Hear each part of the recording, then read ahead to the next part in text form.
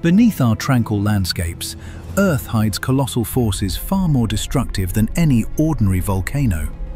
Imagine a geological time bomb capable of changing the entire world.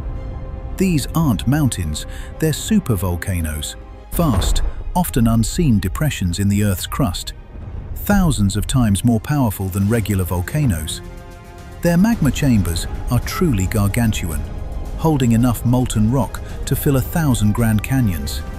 They are the sleeping giants of our planet. Supervolcanoes erupt incredibly rarely, perhaps once every 100,000 years. But when they do, the force is unimaginable. The eruption isn't a mountain exploding. The ground itself ruptures, blasting colossal columns of ash, gas and rock miles into the stratosphere. This enormous ash cloud can cover entire continents, blocking out the sun and plunging regions into darkness for days, even weeks.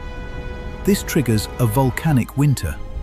Global temperatures plummet, crops fail worldwide, and the planet experiences a devastating climate change for years.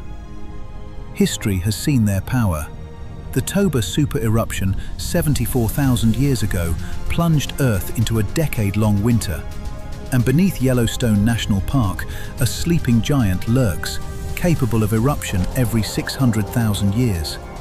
Scientists tirelessly monitor these supervolcanoes using seismic activity, ground deformation and gas emissions to understand their every tremor. The next eruption isn't a matter of if, but when.